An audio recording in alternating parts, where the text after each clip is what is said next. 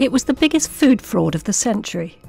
Consumers were shocked by news that some of their beef burgers, favourite frozen food, and ready meals contained horse meat. Welcome to Watch Mojo UK, and today we'll be counting down our picks for the top 10 supermarket scandals. English people are carefully separating out their waste, but I think someone should come here and follow up to see how it's actually being disposed of. Before we begin, we publish new content every day, so be sure to subscribe to our channel and ring the bell to get notified about our latest videos. For this list, we're looking at the biggest controversies to strike Britain's supermarkets over the years. Let us know in the comments which shop you'll never visit again. Number 10. Caterpillar Copycats. We're kicking things off with one of the most ridiculous controversies in recent memory, in 2021, Marks & Spencer's had finally had it with other supermarkets copying its popular Colin the Caterpillar cake, beloved by children's birthday parties everywhere. Marks & Spencer's have launched legal action against Aldi over a claim that the discount supermarket is infringing the trademark of its Colin the Caterpillar cake. Specifically, M&S targeted Aldi for its Cuthbert the Caterpillar cake, fundamentally identical except for the name. Or do you go back to the Very Hungry Caterpillar book, um, which could be the inspiration for all of it? So I think it's really tough to try and copyright anything food wise. The company claimed Aldi was infringing on its copyright, and a lawsuit got underway. It took almost a year for this to be resolved, with the retailers reaching a deal out of court. Is it nice or is it cynical? Are M&S just doing this because it's, it's creating a lot of, as you say, buzz? The details aren't known by the public, but Cuthbert is still on sale. Now they're rowing over gin instead. Number 9. Asda's low wages. 2022 saw the disastrous cost of living crisis spiral completely out of control in Britain. Why step into autumn when you can jump in?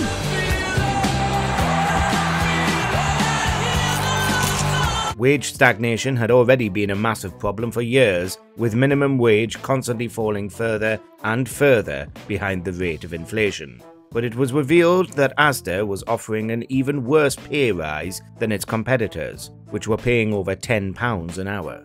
Pay only went up by 3.25%, giving Asda's employees less money than they had the previous year because of inflation. After some rumblings about strikes and the threat of action from some of the UK's biggest unions, Asda finally agreed to raise wages in line with its rival supermarkets. Get the Asda price feeling this autumn. Number 8. Palm oil. For a long time, palm oil was used widely and recklessly in the processed foods most regular supermarket stock. But in the 2010s, the public opinion began to change.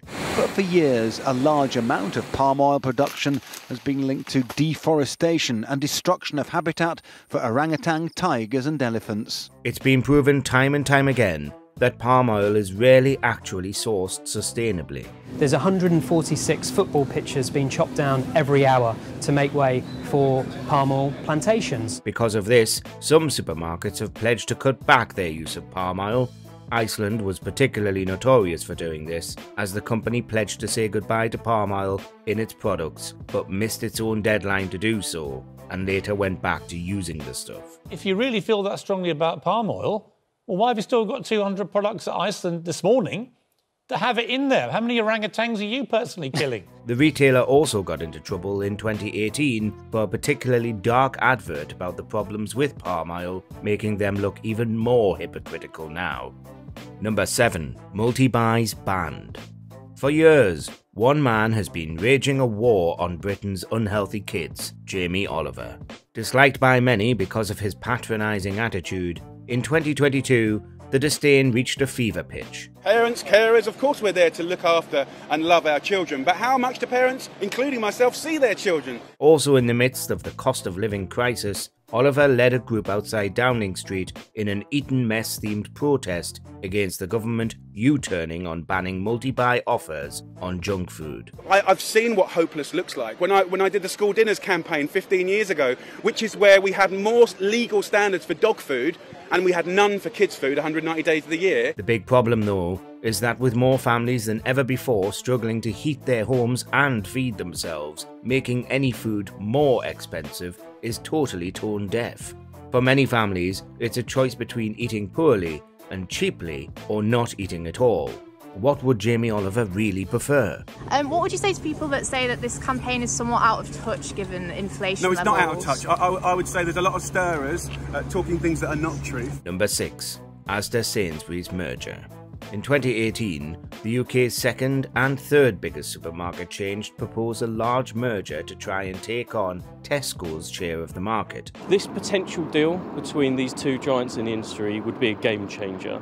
The, the, uh, the creation of this company would be the largest retailer in the UK. But immediately, people weren't happy with the idea. Consumers weren't convinced, and many of the country's largest unions, such as Unite and GMB, were steadfastly opposed because they feared massive job losses. It's expected both brands would keep their separate identities, but the deal does raise the prospect of job cuts and store closures. In the end, it looks as if people's fears were very much based in reality. How confident are you that you're going to get this deal past the Competition and Markets Authority? Well, we've obviously done a lot of work on how this will play out, and uh, we're confident that we'll be able to put a very strong case to the CMA. After investigating, the Competition and Markets Authority blocked that merger in 2019, saying that it would be terrible for consumers. It would have increased prices, lowered product quality, and reduced competition.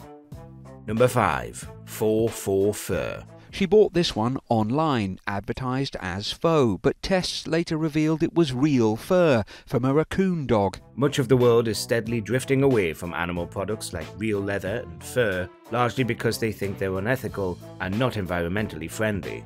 But a few years ago, many major retailers operating in the UK, including high street brand TK Maxx, were found to be falsely marketing real fur as faux fur. What is it? It's animal fibre, because it's got the structural features that only animal fibres have. More shocking, TK Maxx has long had a policy of never stocking fur in its stores at all, though investors were able to walk right in and buy real fur at the time. According to the Humane Society, an animal rights charity, that is a common misconception. They say, in fact, real fur can now be so much cheaper than synthetic fur. The products were removed from sale, and a debate about banning real fur entirely reached Parliament. Number 4. Plastic. Much like the trouble with palm oil, plastic is another major issue the British public care about.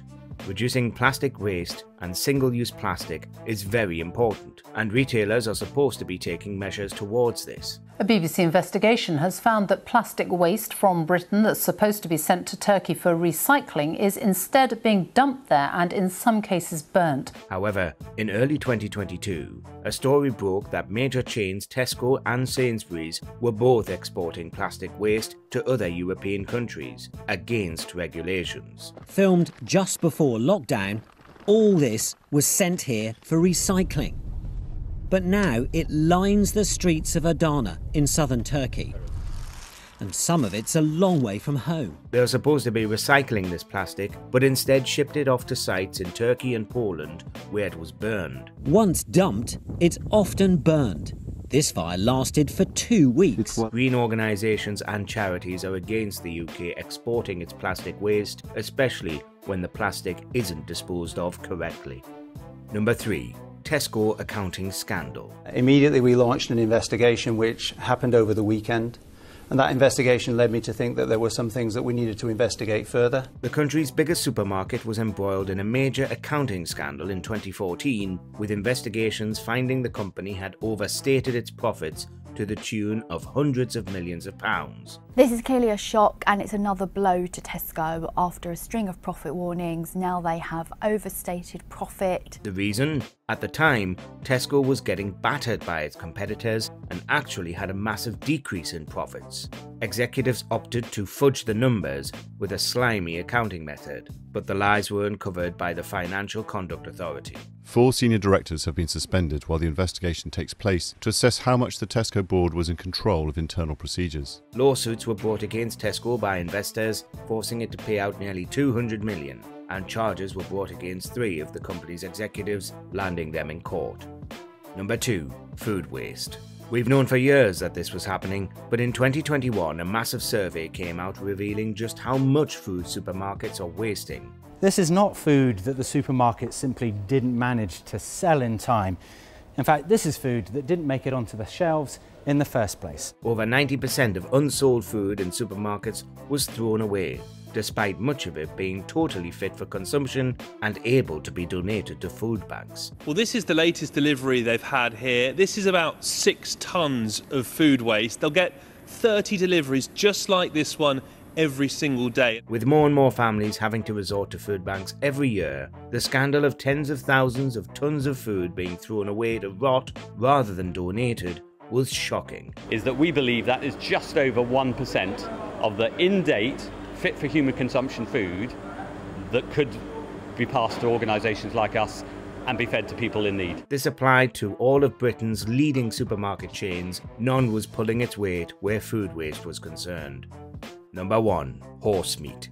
In 2013, a food-related scandal like no other hit Britain and Europe. British firms have been told to test all their processed beef products for traces of horse meat or pork within a week. It was revealed that massive amounts of beef being sold in supermarkets, infamously Tesco, though it was in most other places too, was horse meat up to 60% in the case of one spaghetti bolognese ready meal. Tests carried out in Ireland found horse DNA in a number of big brand name beef products. One, a Tesco value beef burger, contained as much as 29% horse meat. Though horse meat is readily consumed in many parts of the world, in Britain it's still very taboo, and the public was up in arms. Not only that, but it showed massive shortcomings in the food supply chain across all of Europe, since it was difficult to trace where the undeclared meat came from. It took years for Tesco to recover from the controversy. Findus built a trusted brand over generations, and it will take a long time to win back consumer confidence. This scandal will do great damage to the meat processing industry as a whole. Do you agree with our picks? Check out this other recent clip from WatchMojo UK and be sure to subscribe and ring the bell to be notified about our latest videos.